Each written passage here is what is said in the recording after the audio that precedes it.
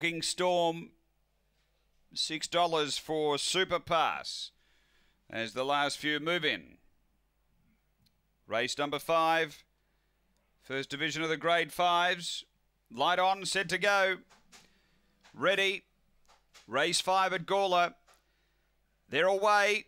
Good line out. Speed now coming from the inside. Dinah Layla's going to sneak through and lead with top weight. They go together early. Just did it. Charging at them. Three out. A couple away. Emily Jose. Three away. Goose. Stalking Storm. Super Pass. And I'm Zoolander at the tail, but just did it. Whipped around and took a clean lead over top weight. And then came Dinah Layla in the straight. Just did it clear over top weight and just did it. Did it pretty well. Beats top weight. Third home is Dinah Layla.